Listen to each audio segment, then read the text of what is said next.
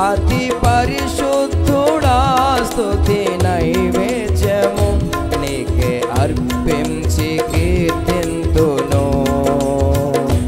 నీవు నా పక్షమై నన్ను దీవించగా నీవు నా తోడువై నన్ను నడిపించగా జీవింతును నీ కోసమే